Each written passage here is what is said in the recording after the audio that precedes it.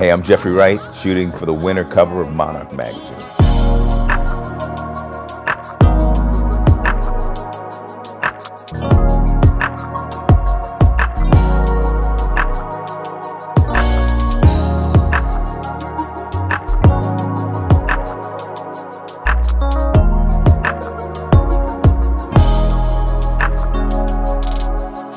To prepare for a role, I just leave myself open to whatever the needs are for that specific character, that specific story and situation. So I just try to be flexible, try to be fluid. I prepare for uh, Westworld in a way that's different than I might prepare for Basquiat or for uh, King in Boycott.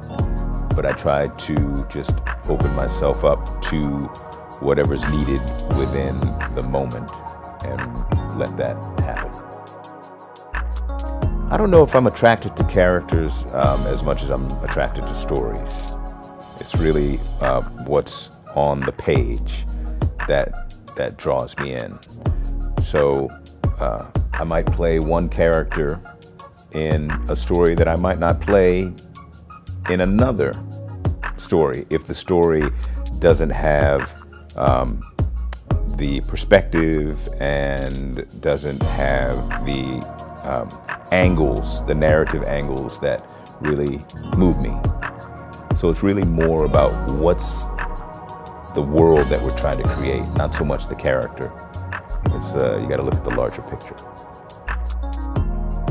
Excellence is work um, plus time plus passion. That's how you cook that stew.